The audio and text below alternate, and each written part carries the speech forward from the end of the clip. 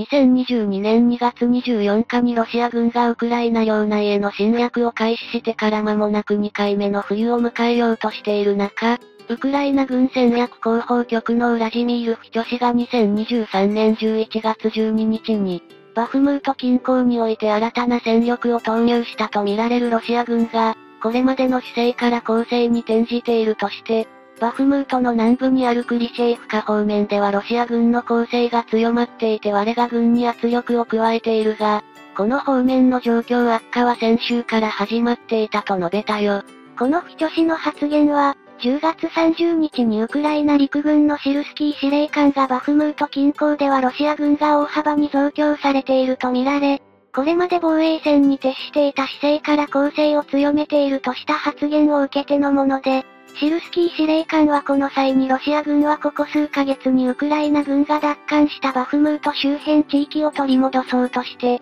精鋭の空挺部隊を投入しているほか、自爆攻撃型ドローンを使用した攻撃が増加しているとの見方を示し、バフムート近郊では依然として厳しい戦況が続いていると語ったとして、インタファクスウクライナ通信が伝えていたぜ。さて今回はバフムート近郊において、ロシア軍が攻勢に出ている件について詳しく解説していくよ。それじゃあ行ってみよう。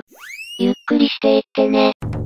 さて、ロシア系の軍事ブログではロシア軍がバフムートの北にあるベルシフカ貯水池周辺で支配地域を拡大させることに成功したほか、南のクリシェイフカ方面においてもウクライナ軍への圧力を高めているとしているんだけど、ウクライナ系の軍事ブログなどでもこれまでウクライナが保持していたヤヒドネ方面にロシア軍が前進してきたとして、これまでにウクライナ軍が奪還してきたバフムートの北と南で再び占領されている地域が広がっていることを報じているよ。また、シルスキー司令官は16日にはウクライナ北東部ハルキウ州のクピャンスクからリマンにかけての戦線においても、ロシア軍の攻勢が強くなりつつあり、戦闘が激化しているとして、バフムート方面と同様にウクライナ軍が苦境に立たされつつあると述べたぜ。さらにウクライナ軍がこの日に実施した戦況説明では、バフムート方面やクピャンスク方面の他に、ドネツク州の州都ドネツク近郊にあって、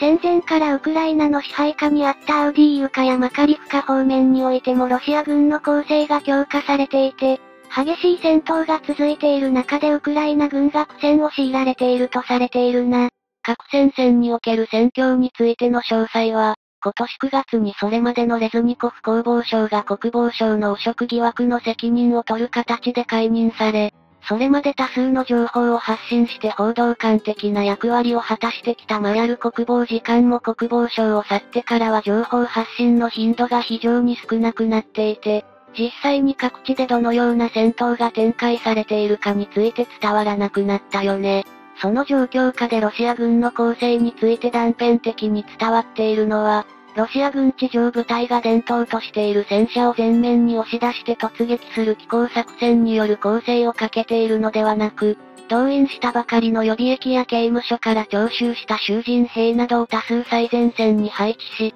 どれほど死傷者を出そうがお構いなくただひたすらウクライナ軍の陣地に突撃させる戦法をとっていることなんだ。兵士に満足な装備を与えず、次々に最前線に送り込んで突撃させることで、ウクライナ軍の兵士たちはどれほど倒しても次々に地面から湧き出してくるようなロシア軍の執拗な突撃に、精神的にかなり追い詰められているであろうとの見方が広がっているな。それに加えて、アメリカをはじめとする北大西洋条約機構 NATO からの軍事支援が滞り気味であることが伝えられていて、特に榴弾砲などの下方の砲弾が約束されたペースではウクライナに届けられていない可能性が高いとされ、最前線のウクライナ軍部隊では火力の弾薬不足が生じていることも、ロシア軍の前進を止めることができない要因ではないかと見られているぜ。ウクライナでは上記で紹介したように、北のハルキウ州からドネツク州、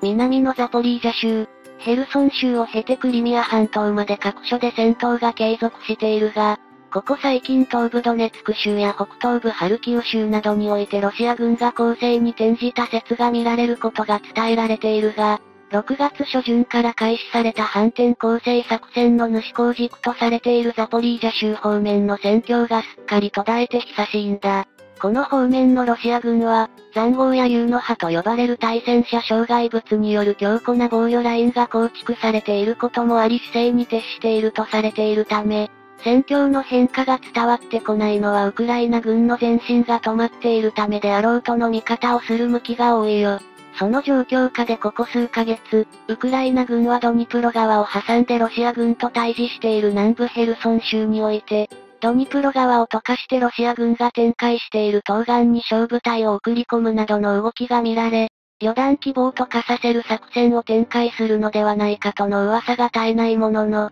現時点では東岸に共闘法を確保したとの情報もある中、それ以上の目立った動きは伝わっていないね。そのため、ロシア軍は南部戦線が膠着状態となったことを見計らって東部や北部で攻勢を強めているものと見られていて、冬が訪れる前にルハンシク州に続いてロシアのプーチン大統領が宣言していた、ドネツク州の完全制圧を目指しているとの見方が広がっているぜ。そのドネツク州においてロシア軍が最も注力していると見られているのは、州都ドネツクに近くにあって昨年の侵略開始前からウクライナ軍が拠点としているアウディーユカだな。アウディーユカはロシア軍がウクライナ侵略を開始する以前からウクライナ側の支配下にある都市で、州都ドネツク中心部からわずか 20km ほどしか離れていないぜ。ドネツク州においては、ウクライナ軍と反ウクライナ政府を掲げてドネツク州の独立を目指す新ロシア派武装勢力との間で以前から戦闘が継続中であり、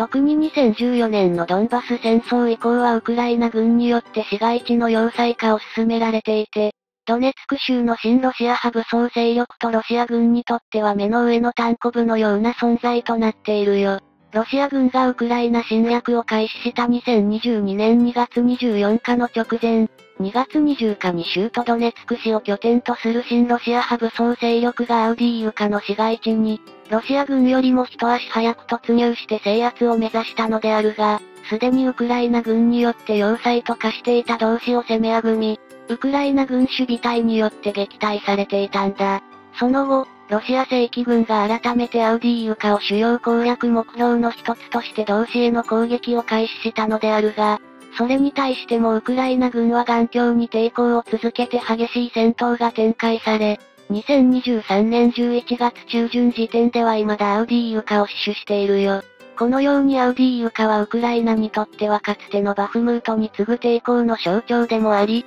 ロシアの侵略に対する戦意を奮い立たせる存在としての意味を帯びており、戦略上必ずしも守らなければならない要衝ではないにもかかわらずここまで守り抜いてきたってわけ。ウクライナのゼレンスキー大統領は14日のビデオ演説で、アウディーユカの防衛がこの戦争の鍵を握っているとして、この地を攻撃するロシア軍が大量の兵力を失うことによって、ロシア軍の戦闘遂行能力は全般に弱まり、全体的な戦況はロシアにとって悪くなるだろうと主張したな。ゼレンスキー大統領は、アウディーユカに対するロシアの攻撃が非常に激しいとしながらも、ロシア軍はこれまでにアウディーユカの周辺で、昨年激戦となったバフムート周辺での戦闘時よりも急速かつ大規模に兵員と装備を失いつつあると述べて、アウディーユカの戦闘がバフムート攻防戦よりも激しいとしながら、現時点ではアウディーユカを守り抜く意思を国民に示したね。それじゃあ今回はこの辺で、よかったら、チャンネル登録してね。